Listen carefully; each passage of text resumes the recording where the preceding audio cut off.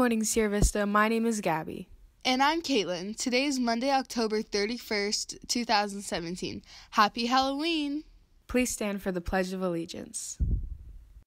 Put your right hand over your heart. Ready, begin. I pledge allegiance to the flag of the United States of America and to the republic for which it stands, one nation,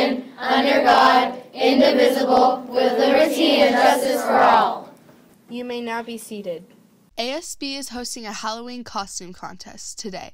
To enter, come to room 1002 during brunch if you are wearing your costume and want to sign up to be in the contest. We have limited spots available, so be sure to sign up at the beginning of brunch. Contest winners get a prize. Let's see those awesome costumes. ASB is also hosting a Mix It Up Day at brunch today. Your teachers will pass out cards with Halloween creatures on them, and you will have to find a person who has the same card as you. After you have found a person with the same card, get to know your partner and learn at least three things about each other. Once you have done that, come out to the quad and tell ASB the three things you have learned about each other to get a piece of candy. Attention 8th graders and parents. If you're interested in going on the 8th grade Washington, D.C. trip, there's still space to sign up, but do so as soon as possible. If you need information, see Miss Contis in room 626 or email her at kcontis at hartdistrict.org. Join the DC Trip Club and go on this amazing trip of a lifetime. Define SCV has a lunch meeting this Thursday at lunch in the MPR. This is the last day to turn in your field trip permission slips. I'm Mrs. Mary. And I'm Miss Stouch. And we are Between Two Books.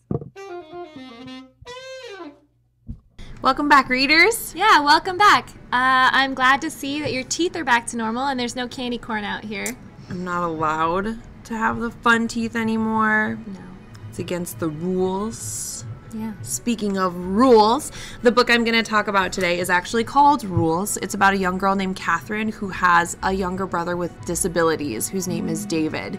And David he's he can be kind of loud and he doesn't understand social norms and he struggles a lot so catherine invents a bunch of rules for david to follow so that she can pretend to have a normal life and when she meets a new friend she realizes that maybe trying to be so mean to David is not such a good idea. And some of those rules are really funny. They are. And so it will it's like a heartwarming tale.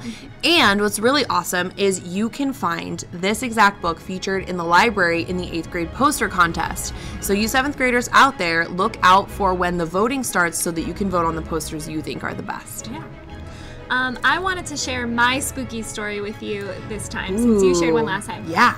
Now, I talked about this a couple years ago, but this is just one that I really enjoy revisiting, and some of my students are reading it right now. It's called 13 Chairs by David Shelton, and it's about a character. Um, his name is Jack, and he goes into this house, and he goes up to this third door, and it kind of starts in the house, and you kind of have to figure out what is going on, and why is he in this house, and why is it dark.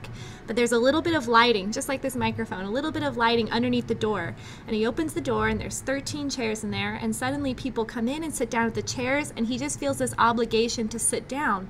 And one by one, each person tells a story. And they're kind of spooky.